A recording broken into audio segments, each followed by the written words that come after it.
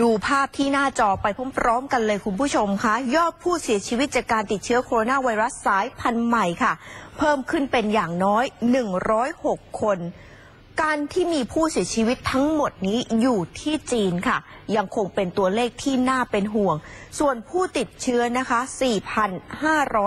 4,535 คนค่ะฮ่องกง 8 คน มาเก๊า 7 คน ไต้หวัน 5 คน ไทย 14 คน สิงคโปร์ 7 คน เกาหลีใต้ 4 คน ญี่ปุ่น 6 คน มาเลเซีย 4 คน เวียดนาม 2 คน กัมพูชา 1 คน เนปาล 1 คนศรีลังกา 1 คน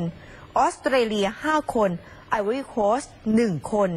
และที่น่าสังเกตทุกท่านคะ เชื้อไวรัสเนี่ยเริ่มกระจายไปยังทวีปยุโรปค่ะ โดยพบผู้ติดเชื้อที่เยอรมนี 1 คน ฝรั่งเศสพบผู้ติดเชื้อแล้ว 3 คน ส่วนที่สหรัฐอเมริกาพบผู้ติดเชื้อ 5 คน และแคนาดา 2 คนค่ะ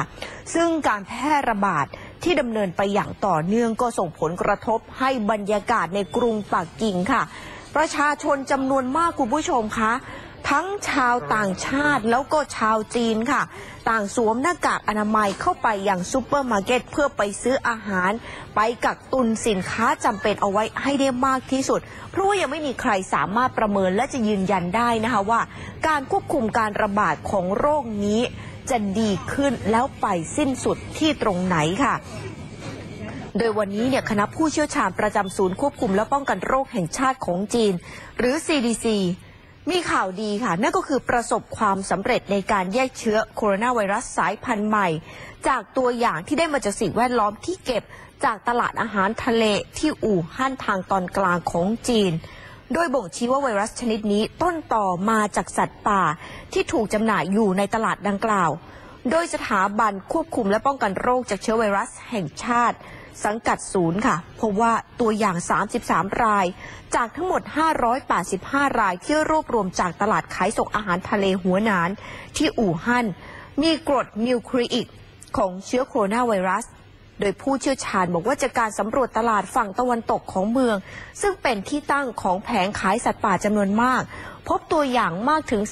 31 จากทั้งหมด 33 รายการที่มีเชื้อโคโรนาไวรัสสายพันธุ์ใหม่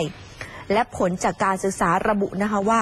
การระบาดของเชื้อไวรัสเกี่ยวข้องกับการค้าสัตว์ป่าเป็นอย่างมากค่ะนอกจากนี้ข้อมูลชุดดังกล่าวยังระบุด้วยนะคะว่า ในการแยกเชื้อไวรัส จะช่วยยืนยันว่า ตลาดขายส่งอาหารทะเลหัวหนานนั่นแหละ ที่เป็นแหล่งกำเนิดของโคโรนาไวรัสสายพันธุ์ใหม่ แล้วก็เกิดการระบาดในขณะนี้ ซึ่งข่าวนี้นะคะก็ทำให้ทางการค่ะ เร่งหาหนทางในการป้องกันและที่สำคัญก็คือการเร่งผลิตวัคซีน เพื่อระงับการระบาดของโคโรนาไวรัสในขณะนี้ค่ะ